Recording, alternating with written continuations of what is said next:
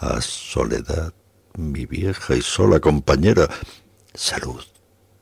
Escúchame tú ahora, cuando el amor, como por negra magia de la mano izquierda, cayó desde su cielo, cada vez más radiante, igual que lluvia, de pájaros quemados, apaleado hasta el quebranto, y quebrantaron al fin todos sus huesos por una diosa adversa y amarilla.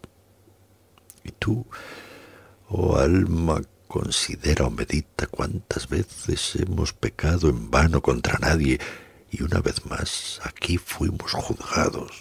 Una vez más, oh Dios, en el banquillo de la infidelidad y las irreverencias.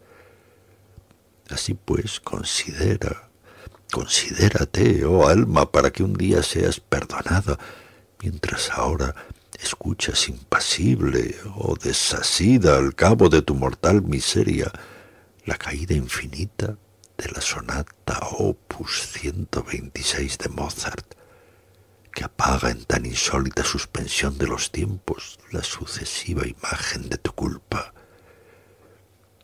Ah, soledad, mi soledad amiga, lávame como a quien nace en tus aguas australes y pueda yo encontrarte descender de tu mano, bajar en esta noche, en esta noche séptuple del llanto, los mismos siete círculos que guardan en el centro del aire tu recinto sellado.